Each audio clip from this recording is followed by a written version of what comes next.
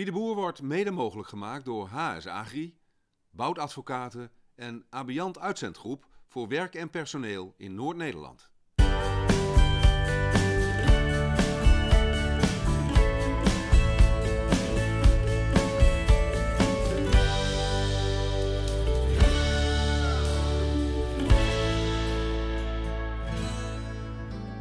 Dit is Ernst Nijenhuis. Hij is veearts. In de provincie Groningen heeft hij zo'n 5000 koeien onder zijn hoede, het jongvee niet meegerekend. Bij sommige boeren komt hij geregeld langs, zoals bij Pieter Berend Slager en zijn vrouw Margreet Wiersema. Ze wonen in Stedum en ze runnen daar een veehouderij met 120 koeien en een zorgboerderij. Ernst bezoekt ze elke twee weken. En deze keer mochten wij met hem mee. Nou kijk, daar zul je hem hebben. Zag je hem te belden, joh? Mag niet, hè? Mooi. Hoi Rob. Waar gaan we heen? We gaan naar Pieter Berend. En waar zit Pieter Berends? Stedem.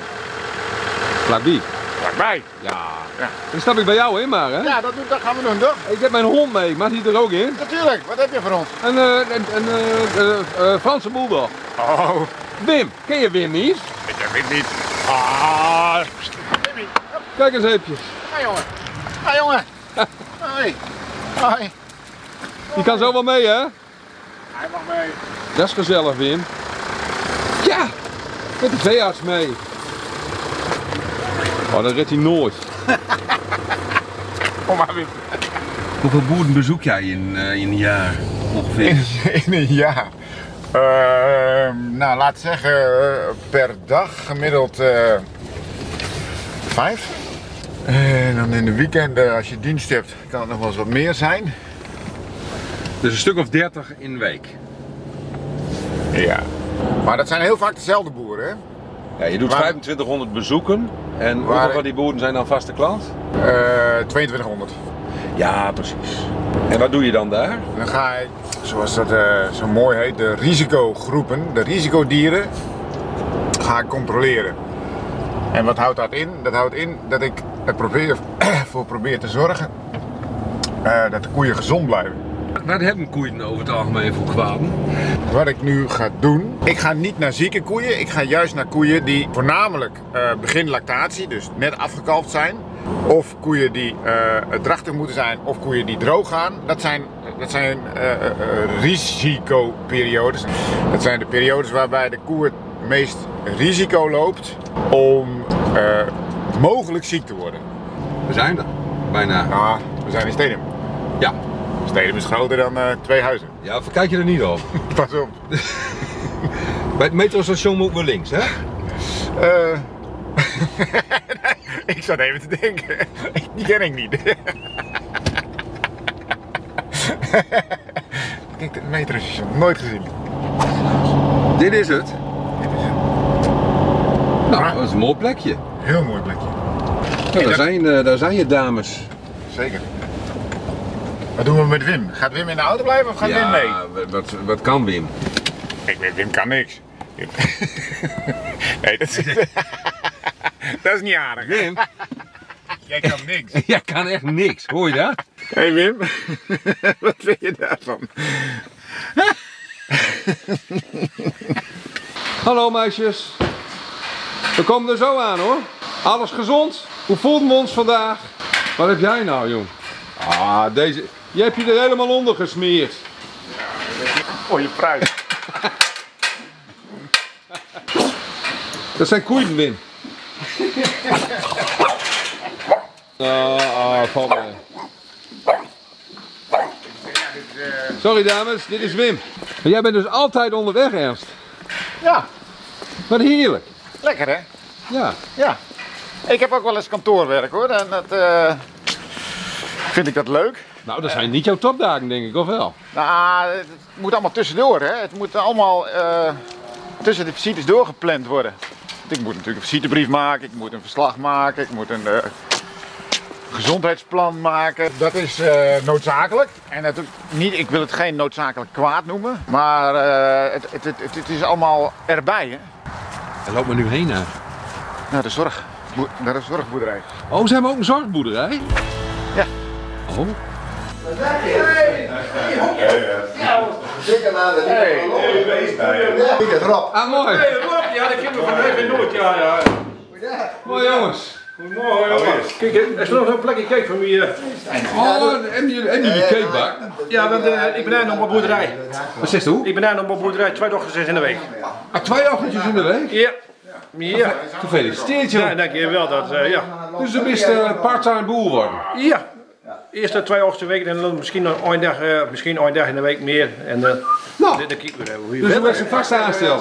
Ja, ik heb er- dan heb ik een keer een plekje cake. Ik ga staan maar een. Oh ja, een plakje cake. Bij de koffie. Geef de Rob ook even. Mooi, eh, koffie of thee? eh? eh, dan maar koffie. Goed zo. Nou Ja, mooi. Hoi, Rob. je weet.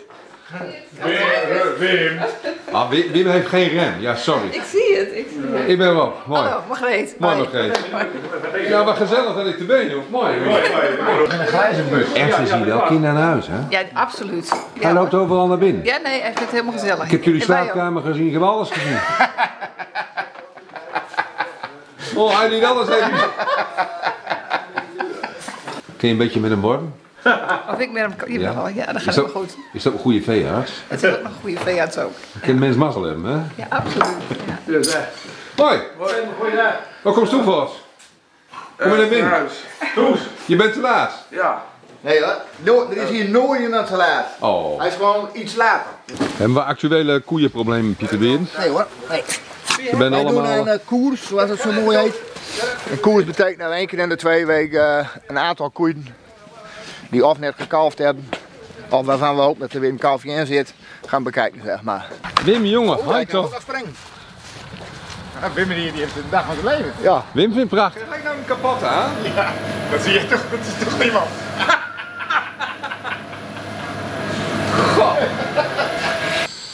Ben je er een beetje klaar voor? Ja. Ja, hè? Ja hoor. Wat, wat geef je ze nou? Ik geef ze nou een, eh, een prikje.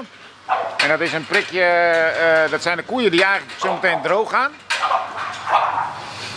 Hey. En ik geef ze een prikje dat eh, eh, de eerste melk, de biest, eigenlijk vol met eh, goede stoffen zit voor de kalveren. Dus de kalveren geen diarree krijgen. Drie. die scoort 302, die scoort dus 3.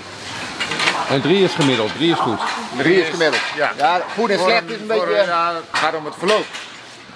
Als hij nu drie heeft hij heeft zometeen, eh als hij 60 dagen in de melk is, in lactatie is, eh 2,5 of 3 min, dan is dat prima. Nou, nou gaan we de koeien schouwen die tussen eh 5 dagen en eh 14 uur geleden kalf hebben.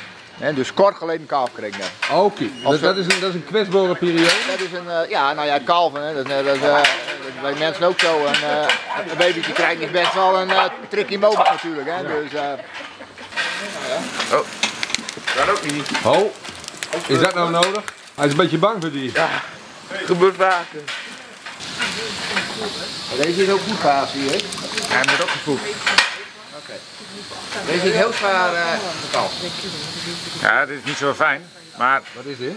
dit is de, de eh, uitvloeisel uit de baarmoeder. Het is niet zo. De reuk is niet. Ja, dat kunnen we niet eh, ruiken. Maar de reuk is niet goed. En het hoort eigenlijk helder te zijn, hè? Kijk maar wat er ligt nu. Dat is niet helder. Nou is dit wel op zich niet goed, maar de geur valt reuze mee.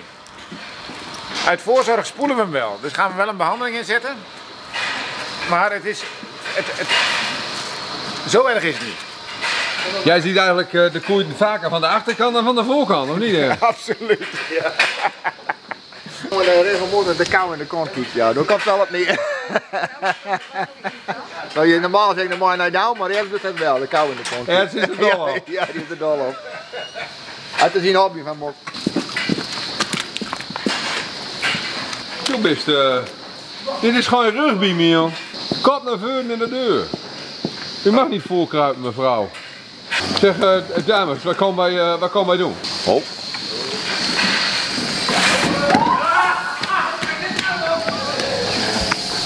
Verdomme! Wat, wat, is er, wat is er aan de hand? Ik ga nou kijken of ze drachtig is. Oh, Ik zeg, ik, eh, ja, Ed zegt even hoe lang, ik zeg nooit hoe lang dat geleden is, maar hij gaat straks zeggen, als er een kalfje in is, hoe, hoe oud dat hij denkt dat het een kalfje is. En dan kijk ik of dat klopt, zeg maar. En dan weten we dat ze drachter is van die inseminatie. In principe moet het normaal lukken. Ik kan het vruchtje alleen niet vinden. Dus ik denk het eigenlijk niet, eh Pieter Berend. Maar ik wil er wel even open houden. Dat je het de volgende keer nog een keer eh, aanbiedt. Nou, dus dit is klaar. Dit is het, dit is het vruchtje. Oh, dat zwarte vlekje is. Nee, nee, het zwarte vlekje is vruchtwater. En in dat zwarte vlekje zie je een heel klein wit puntje. Oh ja. Daar. Ja, Dat is dat vruchtje. Dat is het vruchtje. Echt 30 dagen. Kist hem een beetje om? Jawel, ik wil op, hoor. Jawel, hè. Hij is, eh, hij is blij dus. Hij is luistert aan de milieu, dus. eh. Oh, gelukkig, want hij maakt het hier nooit echt makkelijk, zag ik. Nee, dan word je wat er wel uit van van die hoort. Ja, het is een, het is een Franse bulldog, hè? Die Ja, Fransozen, jongen, dat is tuig. Ja, zeker. Dus, eh, nou ja, geef niks. Ik ben een dolliefhebber, ja, dus dan krijg je dat, hè. Zo, we gaan. We gaan, hè? Op naar de volgende. Jongens, mooi. Kom maar, Wim.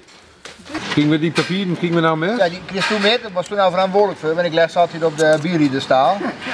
Dus en inderdaad, Ernst gaat er allemaal eh, in een eh, programma zetten. Zodat we dus eh, eigenlijk alles, eh, het verloop allemaal weten. Want meten is weten en weten is zweten, zeg ik altijd. Ja, bedankt dat we even mogen kijken wie die... Ja, nou ja. Zoals ik al zei, ik ben eh, redelijk, of eigenlijk half laag transparant, dus eh, Dan kom ik gauw weer, kom maar de dag. prima. Mooi hè, Pieter weer. Tot ziens. Dit was Wie de Boer. Mede mogelijk gemaakt door HS Agri, Boutadvocaten en Abiant Uitzendgroep voor werk en personeel in Noord-Nederland.